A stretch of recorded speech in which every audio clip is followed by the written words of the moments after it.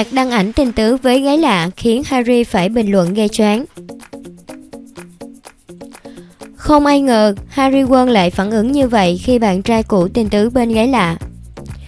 Kết thúc cuộc tình 9 năm trong sự tiếc nuối vô cùng của người hâm mộ, Harry Won hiện tại đã có bạn trai mới là MC Trấn Thành, trong khi Tiến Đạt vẫn chưa tìm được một nửa mới của mình.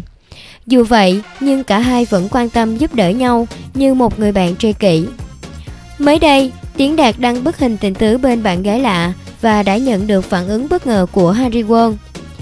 Được biết, đây là hình ảnh quảng bá cho dự án mới của Tiến Đạt. Cô gái trong hình cũng là một người mẫu và hai người có những cử chỉ rất lãng mạn khi bên nhau.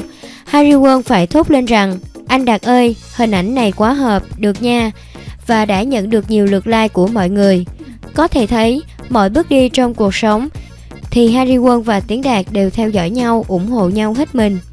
Đây là một điều không phải cặp đôi nào sau chia tay cũng có thể làm được. Ai cũng bất ngờ khi đọc comment của Harry Won. Ngoài ra còn thấy bạn gái tên đồn Mao Thanh Thủy cũng hết sức ngạc nhiên trước điều này.